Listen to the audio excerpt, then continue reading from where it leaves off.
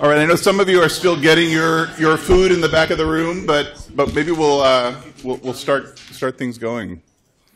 That was really fast. I appreciate that. Thanks.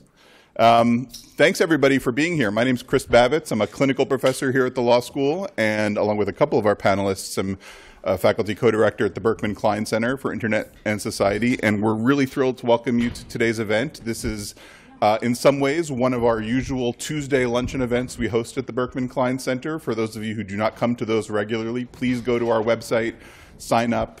They are not usually quite this big, but we do feed you and offer you scintillating conversation and discussion almost every Tuesday. So um, sign up for our mailing lists.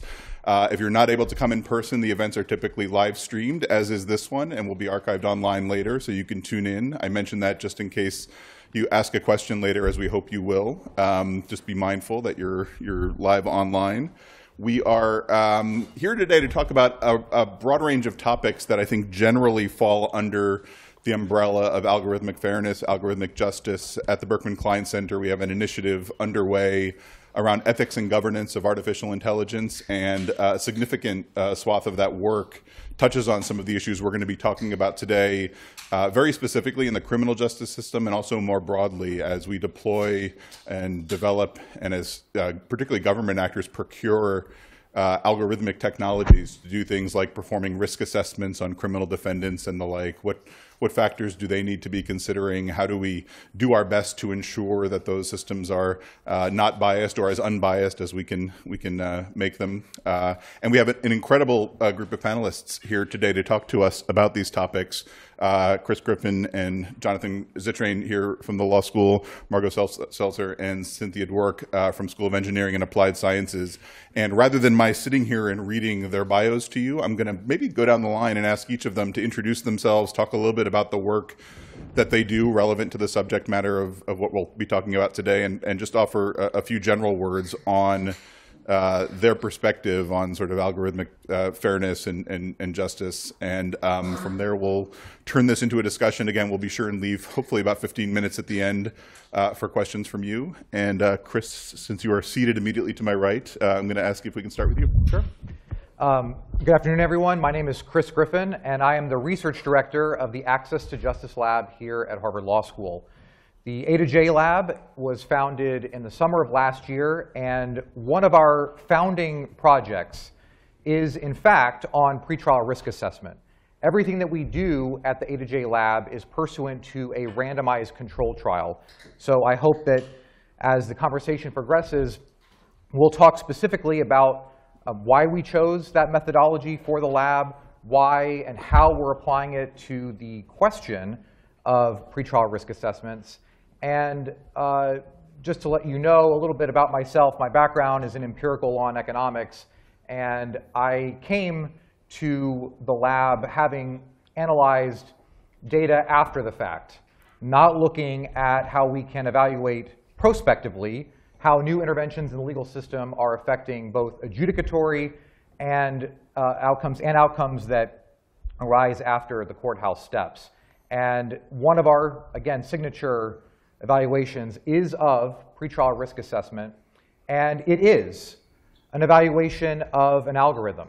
And I am happy to say that we're doing that. Unfortunately for this conversation, I don't have any results to share with you because our first These things take a lot of they time. take a long time to do, and our first evaluation launched only in April of this year. But I can say at the outset, from where I sit right now, that a big part of the conversation regarding the use of algorithms in especially the criminal justice system is what is our counterfactual thinking? If you have deep concerns about the use of these tools, um, hopefully what we'll talk about this afternoon is what the alternative would be. And we know that a big part of that is unguided human decision making, which is not the worst thing in the world, but it certainly is not the best. And so our job, as we see it at the A to J Lab, is to really understand how much more predictive power these algorithmic tools are providing to our judicial officials. Excellent, Chris. Thank you. Margo? Hi, I'm Margo Seltzer. I'm a professor of computer science in Harvard's John A. Paulson School of Engineering and Applied Sciences. Um, I'm also the faculty director of the Center for Research, Center for Research and Computation and Society, We call ourselves Circus, and we have a grand old time. And I also feel like I'm a bit of an imposter on this panel. So my research is primarily in the area of systems, not AI, not fairness, not law. Um, but I have, in fact, for the last year, year and a half, been working on a form of model building called transparent models, and I've become a huge fan of the concept of transparency in a model, which is that instead of entrusting any kind of decision making or advice giving to a black box, I would prefer that I could give you a in the words of my colleague Cynthia Rudin, an index card that you could understand exactly what the model is saying and what it's doing, and then maybe we could have a discussion about how one would apply what we've learned from that model. So I'm going to be arguing about transparency more than um, anything else. Terrific. Uh, Cynthia. So I'm um, also in computer science, and um, I'm new to Harvard. I only started here in January. I've been coming at fairness from a theoretical perspective. So I'm a theoretical computer scientist, and I've been trying to look at how would we actually define fairness. And once we had a good definition, how would we be able to determine, uh, how would we be able to generate um, decision-making algorithms that adhere to our definition of fairness, and how can we test other algorithms to see whether or not they're fair. Um, interestingly, I'm much less convinced of the um, transparency question, and I'm trying to put some thoughts together for presentation tomorrow that will address that. So we'll fight. Do we get a preview today? And we're both black belts, just so you know. Excuse me, I'm a third degree black belt. She is. I'm only a first. Jonathan. So degrees of black beltedness go like burns rather than like DEF CON? That's right. Yes. Okay, good.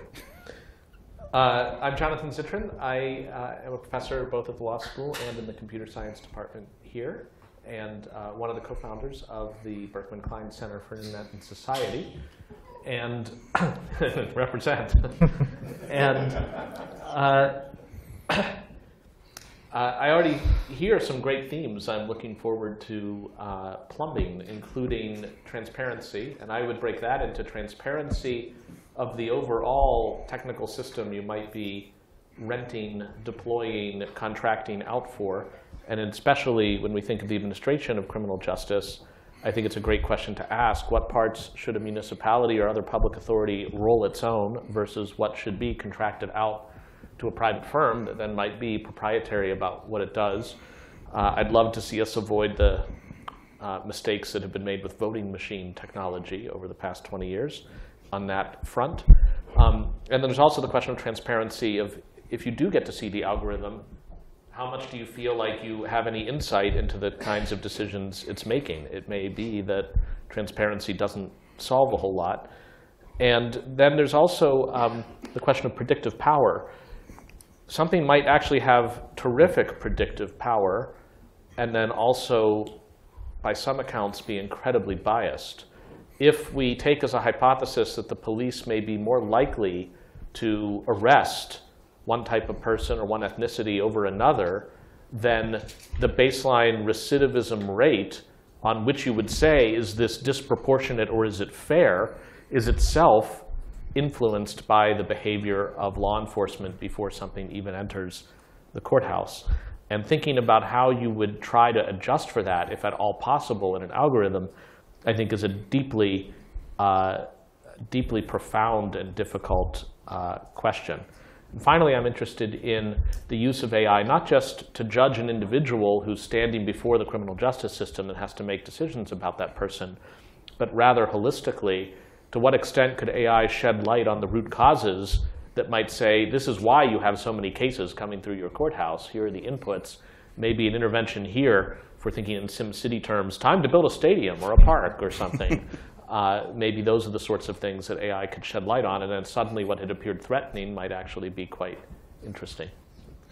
That's great. It, it, we could, so many places we could start there. I'm inclined, since it came up in, I think, all four of your introductions in one way or another, to start with this transparency question. And I can say uh, one of the most interesting things to me about being involved in this broad initiative we have around algorithms and justice and the interplay between artificial intelligence and these kind of powerfully predictive tools that Jonathan mentioned has been getting computer scientists and lawyers in the same room and to talk about legal concepts and CS concepts um, that seem to map neatly onto one another, but but often don't. Transparency is one of those where we have a notion in law of due process where at the end of the day, if the state is going to make some decision about me, we want that to be done via some process that is both fair, understandable, open to the public in some ways. And um, in some ways that fits neatly with, I think, the ideas that Margo and, and Cynthia were talking about uh, when they mentioned transparency in the context of computer science maybe I'll start with you, Margo. Can you talk a little bit more about what you mean when you say you've become a, a strong proponent of transparent systems design? Sure. So what I mean by transparent system design is that if a system makes a decision about you or um, comes up with a prediction about you, that you can say, hmm, and why did you make that prediction? And I can give you an answer in some way that is actually comprehensible to you. And I draw the line at comprehensible, which is that you know a reasonable person could look at the model and, and have some sense of why it predicted the way it did for them, as opposed to um, a set of numbers that, that seem to map to certain features that don't map to anything recognizable about you. So, so well, that's what I mean by transparent. So if I can give you a set of statements that are of the form, you know, if you are speaking on a panel and you're wearing purple, then we predict you are in favor of transparency. You know, else, if you are It's been true every time wearing, I've seen it so far. Yep. Not wearing purple, then we predict false. You are not a proponent of transparency. Um, but, but the model is that easily interpretable is my goal. And is that hard uh, to do?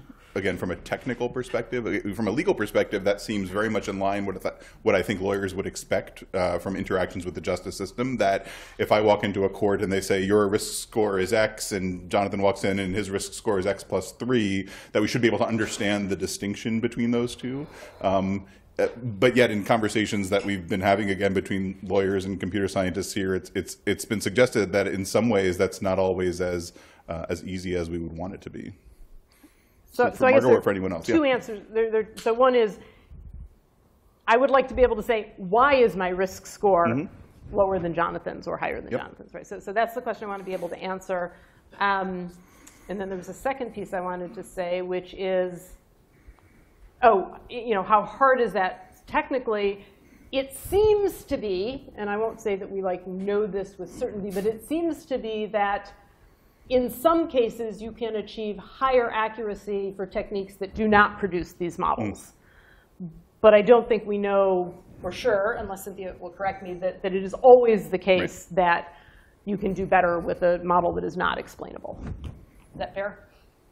Yes, it's fair. So the class of models that include both the explainable ones and the, let's say, uninterpretable ones is strictly larger than the class of models that are interpretable, and therefore there's, it's certainly feasible that there are things that have better accuracy in the uninterpretable part.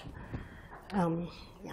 I should say, uh, people like Cynthia Rudin have been rediscovering or re-implementing uh, techniques from like the 80s uh, that had been left fallow that have as their highlight that they are explainable. And as you say, it doesn't mean they might, they might not be better, uh, but the explainability might be an important part of the legitimacy of a process. But I'm also thinking uh, in theory of David Weinberger's recent work, where he's been talking about what if there are aspects to reality that are causal, there is a path, but that happen to depend on such a baroque set of variables, large, complicated, that they just don't boil down to a formula like F equals ma. Now, that may or may not be the case. It may turn out that there are often lion's share kind of uh, power law explanations. 80% of the phenomenon is accounted for by 20% of the categories of data or something. But it doesn't have to be that way. It could be that there's a category of knowledge that we haven't accessed yet because we've only been applying the, the poor human mind to problems. And only the human, the human mind can only think in terms of f equals ma or e equals mc squared or something. That the equation itself is just so long, you get bored by the time you're halfway through reading it. And at that point, it is explained, it is transparent, but it's not really explainable. And I- I'm not sure what would happen as we get more and more AIs capable of generating predictions without theory. Right. Cynthia? So, I, I, Jonathan, I think Jonathan's completely correct. Um, but I, I would like to just go back even to the question of these simple rules lists that uh, Margo is talking about. So, the way the rules lists work is that they're of the following form typically you have antecedents and you have probabilities. So, let's say you're trying to uh, uh, classify mushrooms as to whether they're likely to be poisonous or not.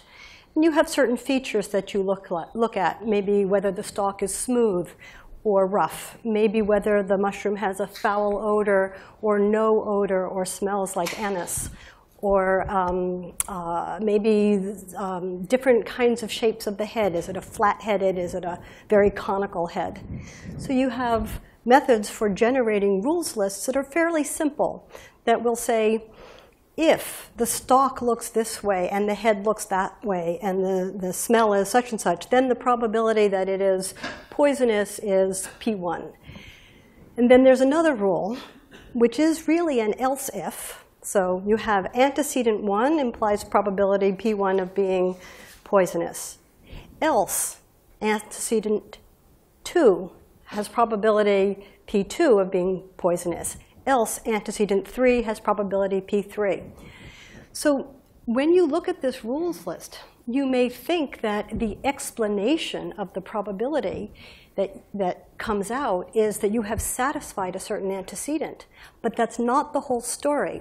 If you get to antecedent 3, then in fact you have failed to satisfy antecedent 1. You have failed to satisfy antecedent 2, and you're actually now at antecedent 3.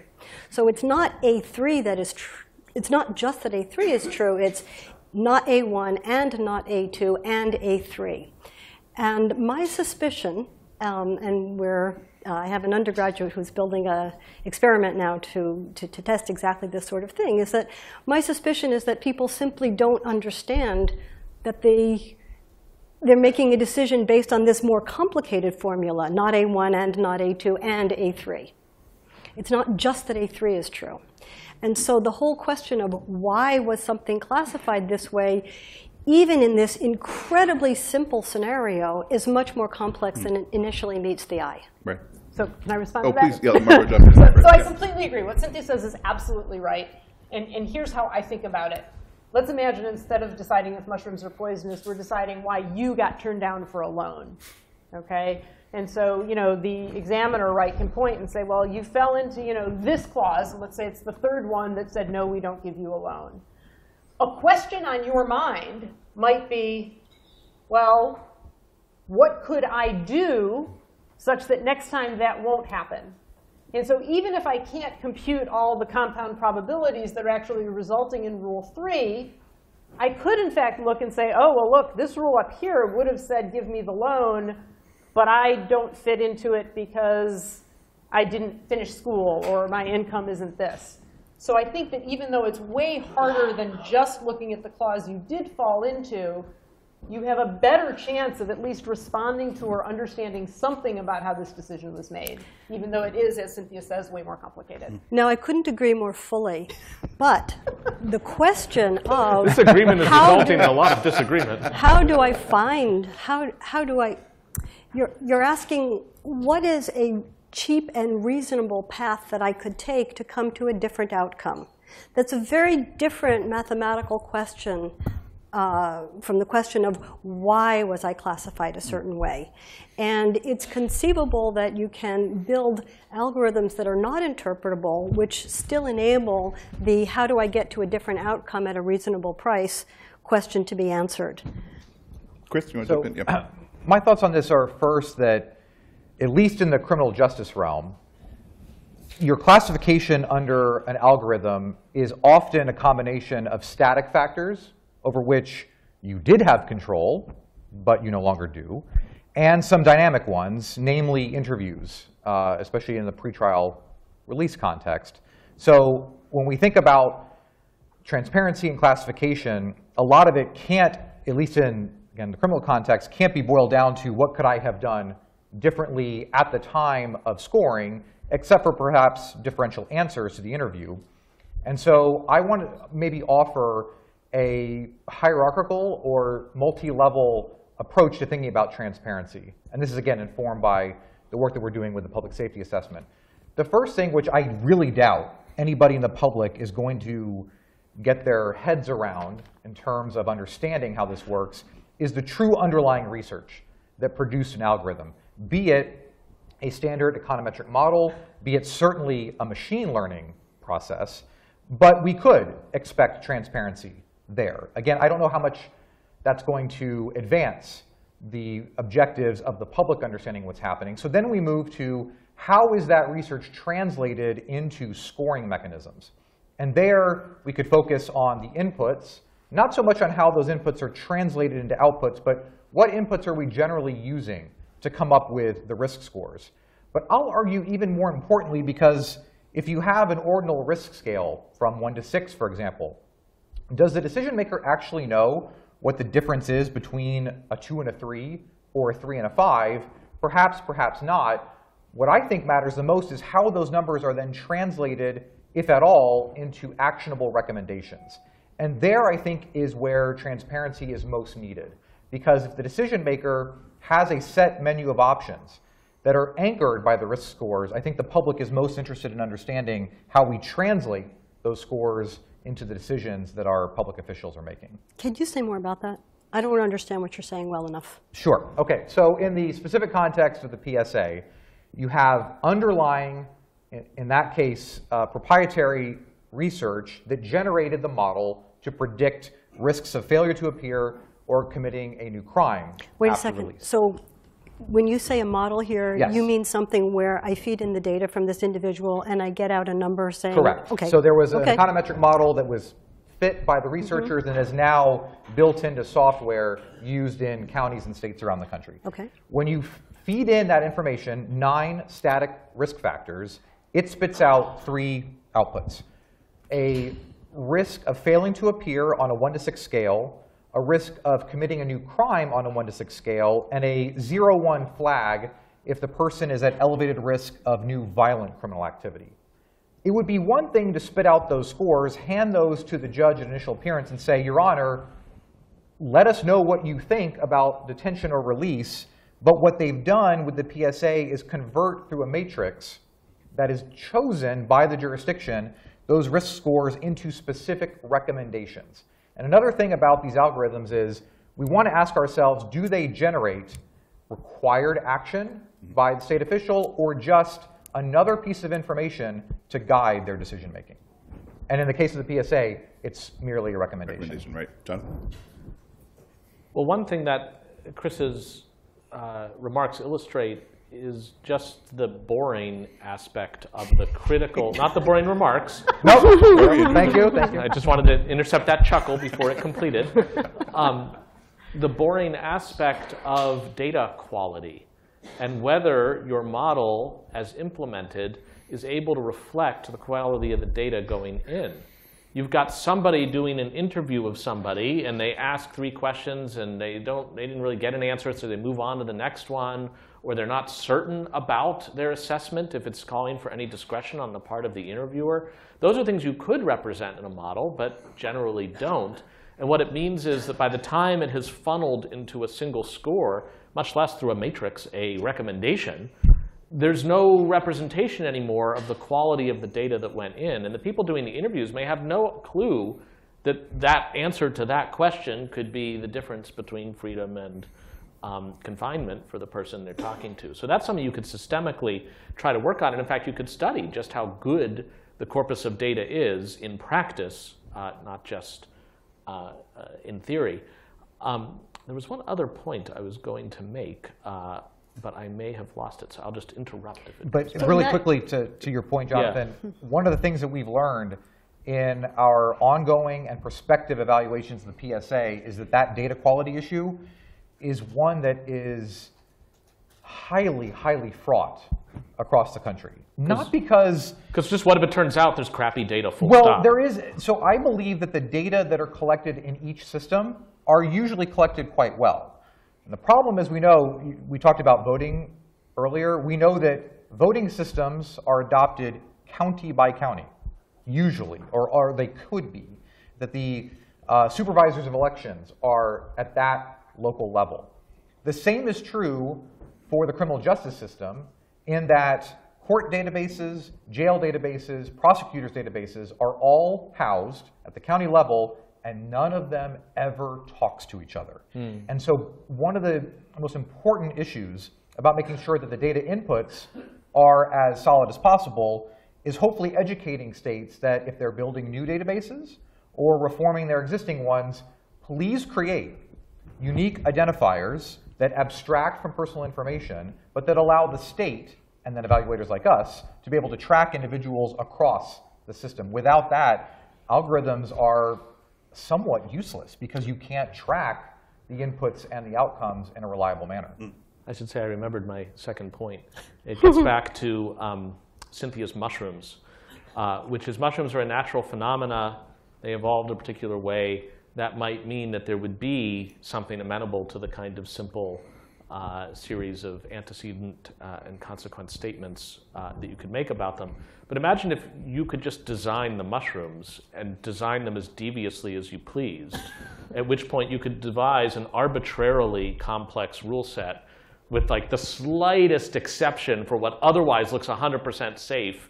Oh yeah, in this case it has some really modest quality that makes it poisonous.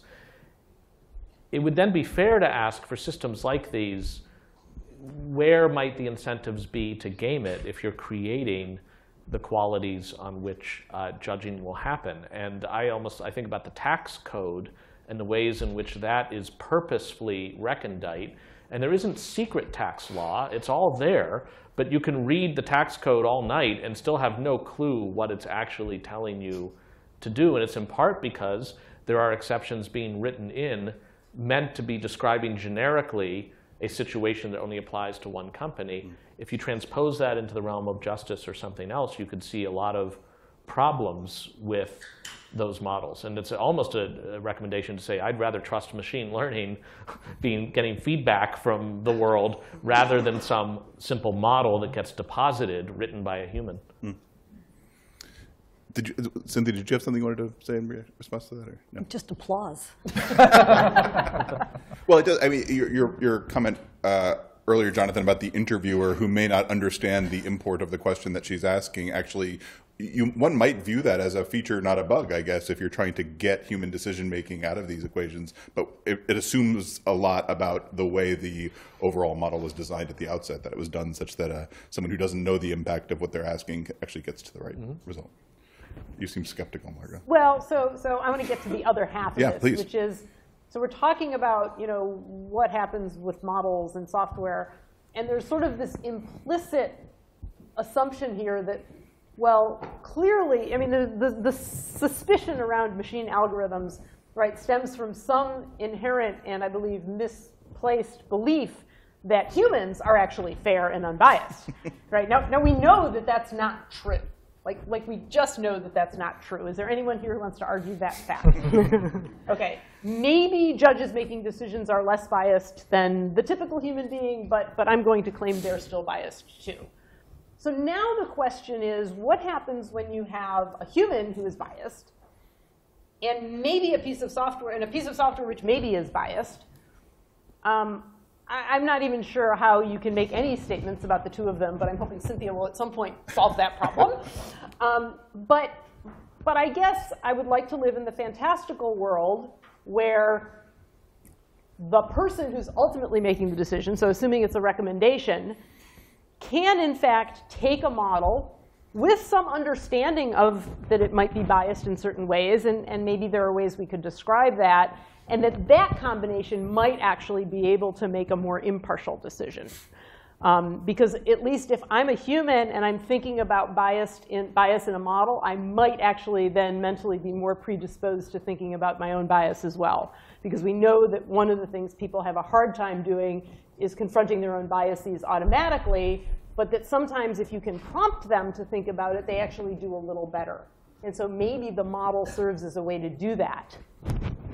But does that, so one of the arguments in favor of these kinds of risk assessment tools in general is an argument for consistency, is an argument that different judges in different counties or different judges in different states will reach a more consistent set of results the more we rob them of discretion and reduce this to uh, numbers. And I'm wondering if what you're saying, Margo, pushes back against that because you're suggesting that we ought to be allowing the judges uh, to use these scores in some way, but to have those scores informed by their broader understandings of the criminal justice system, fairness, due process, Yeah, I'm going to may kick that back to the lawyers. Well, Chris, well, yeah. I'll say, if we lived in a world in which these algorithms, these risk assessments, were the mandate for the court, uh, number of legal problems with that, but also practical and just the ethos of our system would be lost. We rely on the judicial official to use his or her wisdom, experience, and discretion to make these decisions. We like to think of these tools as not even necessarily debiasing mechanisms, but information enhancing ones, those that reduce, uh, or sorry, increase the signal to noise ratio. So leaving out biases that may correlate with observable characteristics, we also know that human beings are imperfect observers of the world around them. And so misclassification could be not connected to a suspect classification like race or sex. It could simply be a misunderstanding of the risk that anybody poses with a particular profile. And we are thinking about the PSA and running some simulations right now to suggest what the likely effect of a tool like this could be. And a lot turns not only on how poor the observational um, abilities are of the judges, but also what difference that variety in observational skill makes. Uh, how different are people? Because if they're already very different and misperception makes them look a lot more alike, then the risk tool arguably separate people more easily.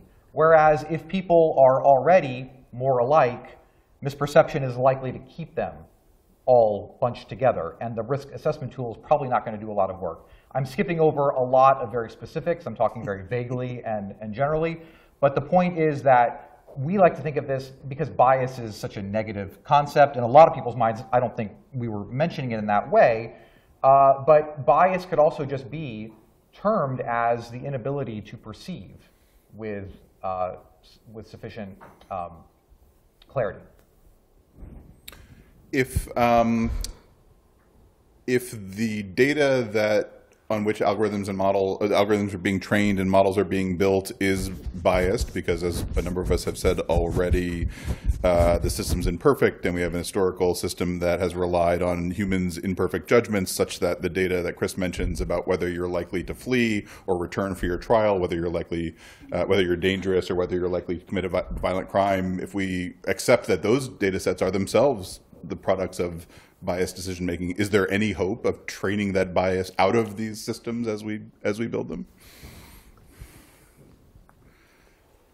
Garbage in, garbage out. Is there is So there is there a way we generally, can? generally, I would say garbage in, garbage out. Yeah. Yes. Um, there are some attempts into in the literature to try to debias. Um, I haven't found them theoretically compelling, and in general, um, I, I think that they're problematic. But I don't. I don't know. Maybe it's maybe it's possible to combine a small amount of unbiased data with a lot of historical data and somehow or other um, leverage the two of them to debias the historical data or to somehow learn models that are less biased. So that seems a lot less hopeless. Um, I similarly feel uh, a little bit hopeless on this. To to one of your earlier questions, Chris, um, you know, if you maintain a lot of discretion, that could have the countervailing effect of reducing the continuity that risk assessment tools are designed uh, to produce. I think that the continuity that we're really looking for is that focal point that would be available in all cases to interact with the judge's discretion. Here's an example of that, to speak to the garbage in question. With the PSA, you will have, if you are a judge receiving a report, a list of what the nine risk factors are and how they stack up with the defendant's criminal history. In some jurisdictions, they're not only giving you the yes, no, or the count of how many failures to appear there were, but they will tell you if there was a felony conviction, what was the crime for which the individual had been convicted. And if the judge wants to look at that background and say to him or herself, you know, maybe some of these risk factors are so tainted by bias earlier in the system, I will discount their applicability to this case. And that will allow me to depart from the recommendation. I might, if I believe that the risk factor is uh, extending the prediction of risk too far, I will back away from that and recommend a more lenient release condition. And so I think, again, there, you start with a focal point. There may be some anchoring bias that arises from that, but I argue that's probably a good thing, again, given how variable unguided human decision making can be. But that same unguided human decision making, when combined with the risk factors, can, I think, make the system a lot more just. I want to pick up on a point that Jonathan made in his opening remarks and maybe tie it back to some of the conversations we've been having about transparency, interpretability, and that has to do with questions around the interplay between private commercial actors developing these tools and the state and state criminal justice systems that are applying them. Is there something I guess the first question is: Is there something inherently concerning about uh, about that model? The way we have um, state government, local government procuring software to do any number of things made by private vendors. Is there something particular about these risk scores that should give us uh, should give us a particular uh, pause. And then related to that, I guess, is the question of whether the kinds of interests we're discussing here around transparency, interpretability, explainability are in some way at odds with the private commercial interests of companies that develop these tools that may not want to reveal their their special sauce or their you know whatever it is that makes their tool uh, as as good as it can, as good as it purportedly is. Any, any reactions on the, the sort of state uh, state uh, use of private uh, private commercially developed tools? So, um, when faced with this question, um, I like to appeal to the miracles of modern cryptography that allow us to prove things about um, secrets to prove that secrets have certain properties mm-hmm. without actually revealing the secret. So in particular, if the secret is an algorithm and I want to prove that it has a certain property, there are techniques from cryptography that would allow me to carry out this proof and convince you that the, that the secret algorithm has this property without actually letting you see the secret algorithm. And I would succeed truly if and only if um, the, this, the secret algorithm really did have this desired property. Mm. So at least in theory, I'm much less concerned with this particular problem. There's, um, there's just a whole lot of technology out there that could be leveraged if secrecy of the algorithm were truly the only problem. Uh, go ahead. No, go ahead. Well, just I of course, I think we'd all be grateful for the extent to which there are forms of proof that let the company keep the secret while still being able to probe and audit it. But there's the antecedent question of why should the company be keeping the secret? And I don't blame the company for wanting to develop a business model around something, but uh, especially if you think there's going to be more data accrued that would improve a model, the idea that that keeps through feedback effects getting the company's hands and no one else can really use it, that just locks in whatever you've got and there's no form of competition for a better model. So I would love to hear if anybody would make the case, including from the companies, where if you're looking at it from a societal point of view, why you would possibly want to see this farmed out rather than have it developed in-house and maybe a given county may not have the data science team needed to do it. But you know, counties are organized into states. States sure, are sure. part of a larger country. Like surely, if we all chip in, you know, we can build an interstate. And that's the sort of thing that I think it's just been not on the radar. It's a new phenomenon. You have an existing system, and then there are entrepreneurial companies coming in to improve things. But I, I have yet to hear an argument as to why we would possibly want this to be with contractors at arm's length, uh, especially if they are going to be able to claim trade secret over what they're doing, proofs notwithstanding.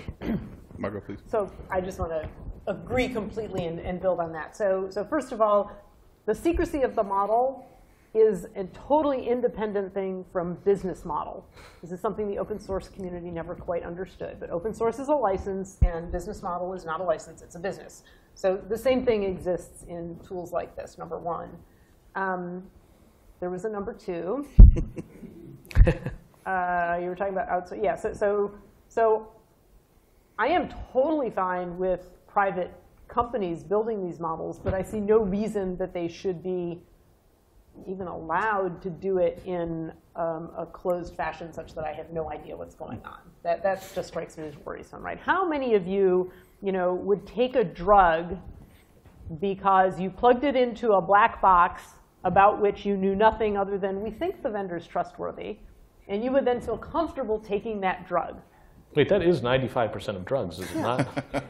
I, I like to think of my doctor as I- a little I- bit different than a black box. I sometimes like when I'm like truly bored, I read the insert with the prescription drug, and there's like always that little diagram of a molecule. I'm like, that's pretty. And then in the middle, it's like pharmacology. It's like through an unknown process, headache goes away. And you're like, I'll take it. Sorry, it's just. Yeah, but see, I'm that annoying patient who actually asks my doctor, like, why do you want me to take this? Mm. And actually, I have one doctor that the day I walked into his office and he was about to sign me a drug, he said, okay, let me show you the following research papers about people who have a condition exactly like yours and what the results are. Hmm. This is a doctor I can get behind. and this is exactly what I want to see in the algorithms that we're using to decide people's hmm. fates. So it's a great example. So But that's to a that- statistical, oh, that's a statistical argument your doctor was Yes. making. Your Yes. doctor was not walking you through the pharmacological process, Correct, correct. But, but he was, which, he was walking me so through it's, it's the- testing, not transparency.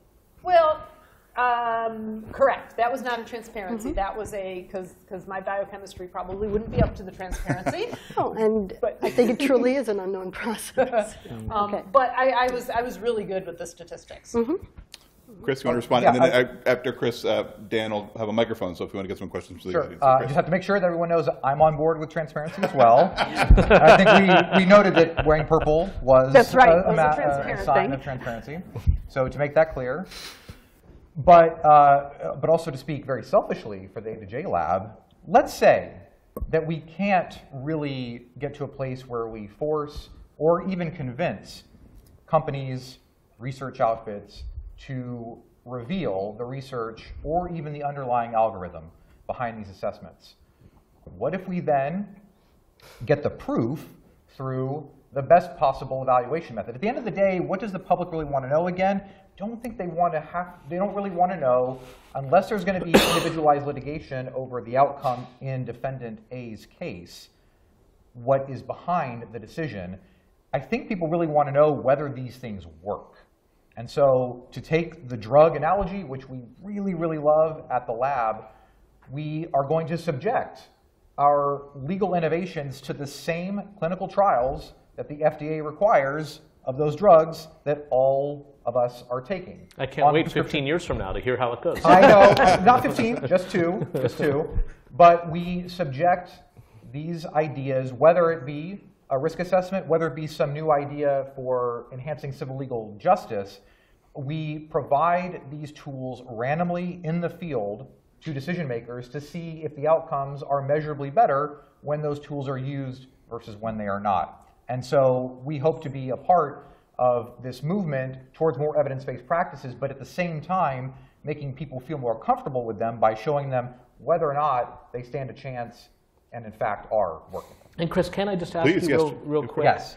Uh, if it's not outlandish to think that, for instance, rearrest rates could be greatly influenced by factors that they shouldn't be, by demographic, Right. uh, innate personal characteristics, the algorithm could happily just predict that. Basically, is predicting what a police officer will do rather than what the uh, accused would do.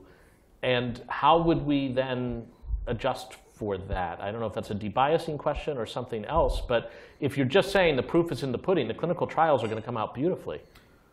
Perhaps. Uh, I, I think the uh, one suggestion I might have, um, and I, I'm unclear right now as to how this would work in practice, although there are rumblings of this occurring uh, in locations I'm not aware of specifically around the country, but giving such tools, I mean, think about the evidence that is overwhelming in the empirical literature on the disparities in stops by law enforcement, by race and ethnicity. Lord knows how many officers need because they're using either improper or just um, wrong proxies to make these decisions. If you had something like a risk assessment at that stage, if you had these objective tools throughout the lifespan of a criminal case, that could be one solution.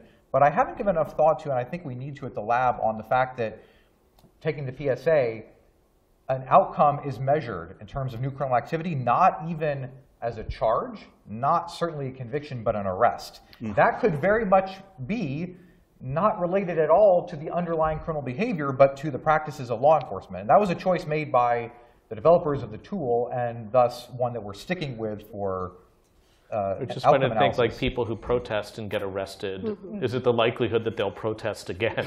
Right. then they'll get arrested again. So these are the, the point is that there are tough questions, notwithstanding our strong belief in the, ava- the ability of the RCT methodology to suss out real causal relationships. There are still really hard questions that we have to contend with in doing this type of research. Actually, I remembered please my other point. So, so as somebody who builds software for a living, like every piece of software has bugs. And so this was the response to like, should these models be allowed to be closed? Hmm. And I worry a lot about bugs. So, you know, maybe someday we'll live in a world where you can have verified software and then we have to be able to write specifications correctly, and I'm a little suspect about that. but, but in a world where every piece of software has a bug, the thought of software that has bugs then being used in a fashion where I have no idea what A, what it thinks it's doing, and then B, what it's actually doing, makes me really nervous. On that note, I think we'll have plenty of hands, so I'm going to ask Dan to play the Phil Donahue role and run up and down the aisles. Please. Hello, I am Kathy. I am also a computer scientist, and I'm excited to see two women black belt computer scientists on the stage. I have so many thoughts, but I'll limit it to, to two. First, on the um, transparency side, the, gov- the United States government spends $96 billion on government contracts, in case folks didn't know. It's an area that I've worked in quite a bit. And the whole idea of getting a pill that you know will kill you and probably taking that pill again is what we do. We pay for contracts that are not transparent, that we know will probably not work. We rehire the same contractors that have failed us, and then we continue to to do it. I have a long list of examples. We actually try to implement. I'm with the United States Digital Service, and we've actually tried to say um, we won't take a contract unless you develop in the open. And companies fight so hard against that for so many reasons, um, citing really ridiculous reasons. Um, so I would love to talk more about that, but it's a $90 billion um, industry, and we continually, we as a federal government in the United States, continuously buy things that don't work. Um, and, at- and at one point, there was an argument for these are taxpayer dollars, it should be open. The American people are paying for it, they should see what's in there. And, and we don't. And then the other bit was um, on the garbage, the data side. Um, I totally hear the, you know, train people on the risk assessment scores and things like that but also as a developer and seeing what my colleagues and even myself at in times um, margaret you mentioned you know you have these if then statements right like if you're wearing purple or if you've been convicted three times all those things are biased and even today many engineering shops don't think about that we talk about it as part of our lives here in, in ethics and ai most groups don't talk about that. It's you get excited about the data and you just go build something. So how do we infuse that back into companies and and groups and even students maybe working with with the data? Um, we can debate here all day about um, what to do once things are shipped, but there are so many groups building today that are just not going to think about the biases in the code we're writing. I am teaching it in a new course that I'm developing this semester. We should talk more. The syllabus is secret. Actually, Actually, So actually, the, this issue you raised about software developers not understanding and thinking about the ethics and bias is huge. Um, and I, I think that we as educational institutions have a role to play, and I am delighted not only is Cynthia developing a course that, that really addresses that, we have a program throughout our entire CS curriculum that we piloted last spring and are expanding this year to, in every course that we can, and this year it's up to about six or eight, actually inject issues of ethics embedded in the material, right? It's not just enough to take a separate course in ethics. You actually have to consider the ethics while you're in the throes of building, you know, designing a user interface, or while you're in the throes of cleaning the data. And so um, there really has to be a push, starting with the education level, and then persisting throughout the companies of considering in the same way that we consider sus- maintainability and scalability and performance and ethical considerations, it's got to be an equal pillar, and it starts with us. We have teaching fellow positions. I'll also add on that point that part of the ethics and governance of AI initiative at Berkman, we've been really focused on the procurement, the point of procurement, which is actually more at the state level here than at the federal level for the kinds of tools we're talking about here. But that point of procurement, empowering state procurement officials to request the information they need to make these decisions, to assess the, whether ethical considerations and others have been incorporated into the design of these systems, that I think is a big part of what we're going to be trying to do. So, Mr. Holland? Hi, my name is Adam Holland. I'm staff at the Berkman Center uh, on the lawyer side of things.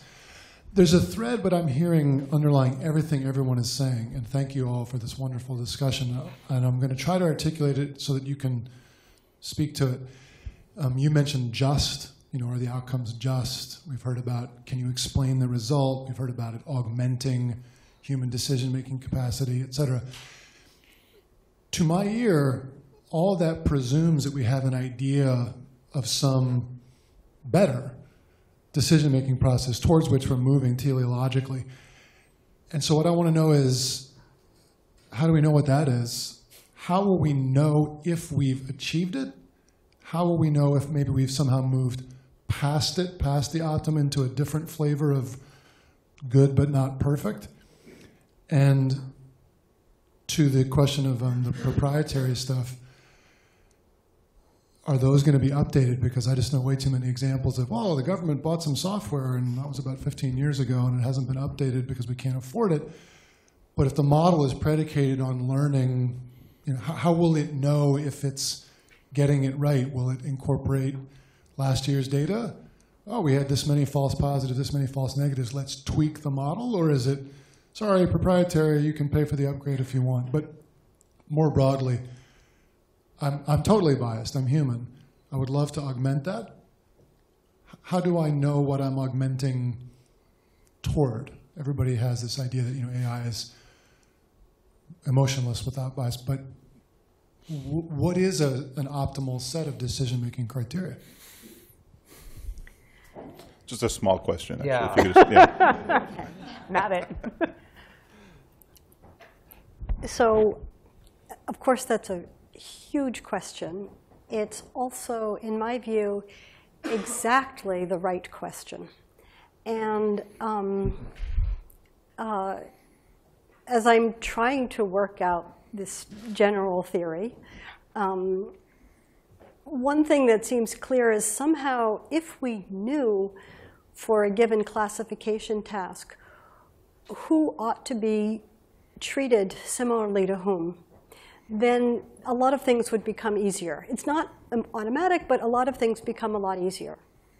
So my, my belief is that the real use of AI and machine learning is going to be in discovering this metric of, for a given classification, how similar are you to me? And for every pair of people, how similar are they to each other? And I believe that this is um, um, that we're going to we're, it's going to be an imperfect but improving situation, and that um, uh, at the best that we're, I mean, we're going to be doing society's best guess, but as we do more and more research, our notion of what the best guess is will improve. I, that's the only path that I see toward answering this. So I really think that the real question for machine learning is how, how do we determine who is similar to whom for this particular classification task? In that sense, colloquially speaking, Yes. it's, uh, I've always thought, Cynthia, of your work as less being able to tell us what's fair and more being able to tell us what's unfair and prevent Right. it. You'd think they would just be the inverse of the other, but maybe not, at least colloquially speaking. And it may be that what you're articulating to a lawyer's ears would sound like equal protection. You know, that you want like to be treated like. And that's an equal protection concept that's pretty fundamental in the American uh, and around the world frameworks of the rule of law. But equal protection still doesn't tell you the content of, say, when you get past the simpler questions of bail, where it really is, are they going to hurt anyone and will they come back to face the music? Like those are empirical predictions you could make. If you're trying to figure out whether it's time to release somebody early from, from serving a sentence or how long to sentence a person, a big part of the formula just is an innate question of what punishment fits what crime. And you could still ask equal protection questions around it, but you need an initial sense of what counts as a grave offense. I mean, the Harvard professors that stood across Mass Ave in a carefully choreographed sort of thing with the police who were alerted that they were going to do it. The police stopped the traffic so they could walk out into the street. then they're like, please, we're going to arrest you. You know, that's not likely to result in a book being thrown at them. Uh, they've got plenty already, they're professors, um, for what they're doing. And that might seem fair given that it was performative. Uh, but that all requires a theory of justice that it would be a lot to ask machine learning pattern recognition to tell you. Uh, you've got to fill it in, and sometimes legislatures do, sometimes judges do, uh, with their various feelings. I don't know if that would change. The one other thing you do point out, though, is that to the extent that we started to ease the work of a typical judge by only presenting to the judge the really borderline iffy cases and trying to dispose more efficiently, maybe with advice, maybe just summar- summarily, the cases that just fit the template so easily we don't want to waste anybody's time with them, you do risk ossifying the training set on which the judgments from real judges were made in whatever year you changed the system, grateful for the efficiencies introduced by the machine learning algorithms. And it would just be weird to imagine like we're going to get equal protection for justice as meted out in 1957. Like that, it's like, yep, it's totally consistent with what these judges from 1957 would have done. I don't know if it means there should just be some exercise where every so often we just go on a judging spree to see if things have changed since the last time judges were judging. But then again, the judges might be rusty. Do you keep a couple judges running in old-fashioned artisanal courtrooms? That's like, here the justice is handmade, and there are other courtrooms it's just like, you know, spit it out the way that most of our food is produced. I, maybe that would work, but again, it would be a somewhat self-conscious exercise by the judges. So it's stuff to think about. Chris? I have a similar view to what the others have said, uh, slightly different as well. So when I hear your question, I immediately think of an economic optimization problem. I mean, those who are schooled in the economic analysis of the law know that, you know, with tort law, for example, we can set a standard of care in a model such that anything below that would probably lead to too many accidents, and anything above that is constraining our liberty too much relative to the cost of those accidents. Are we trying to do the same thing here, especially in the criminal justice realm? Perhaps. But I really don't believe that any of these risk assessment tools can solve that optimization problem. The only actors, the only way that we can get to that optimization is through a conversation in the populace. That's a reason why, with the PSA, for example, the matrix of options that are then mapped onto the risk scores is chosen by the jurisdiction itself. A jurisdiction has to decide what its tolerance for risk is, what its tolerance for the increasing cost of incarceration might be. That's what's going to get updated time and time again after the jurisdiction sees its decision makers using the risk assessment tool. But the tool itself, I don't believe will ever be able to get you to that X star, that optimized outcome. Rather, it's the interaction of the information provision from the tool with the decisions that are made, but that's what's being updated over time, is our ability to accept certain restrictions on liberty, but also, on the other side, certain bad outcomes. We're, we're trying to balance those two competing interests. Do you have a sense of how different those matrices look in different jurisdictions? They can't be too different because the, uh, the creators of the tool want certain general outcomes to be placed. And for example, in the upper left, you're really looking for OR release, own recognizance, no conditions of any sort. In the bottom right, if you're in a right to bail state, we want those people detained, but we have to set bail really high. In, in the middle, that's where a lot of the decisions are made about what's offered based largely on the resources that the jurisdiction has. But in general, it's from upper left to bottom right, just more strenuous conditions, but reducing as well the amount of monetary bail that we rely upon to secure release. But so you didn't really answer my question. my, my question, my, the answer is there is some baseline uniformity in that they want certain types of release to appear somewhere on the matrix, but the jurisdiction gets to choose where they're located.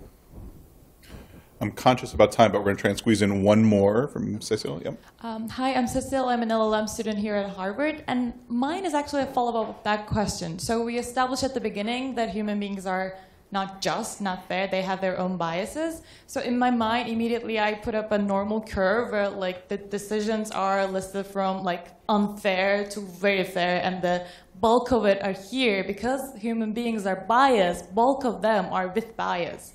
So with AI, we're trying to have a continuous one. So we're trying to get rid of the outliers. I understand that.